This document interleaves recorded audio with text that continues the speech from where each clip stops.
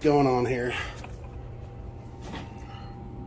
At the very location in front of the Social Security Administration office, the law regarding the right to film and photograph for news, advertising, or commercial purposes is posted 41 CFR 102 74 420.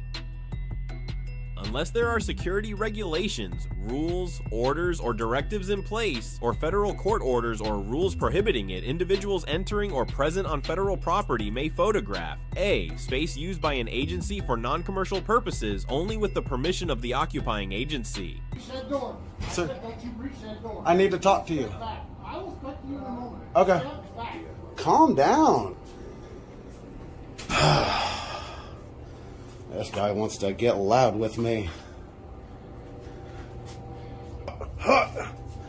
God.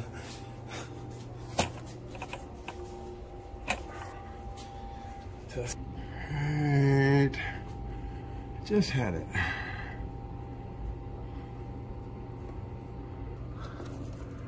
Photographs for news, advertising, or commercial purposes, except where security regulations, rules, or a federal court order or rule prohibits it.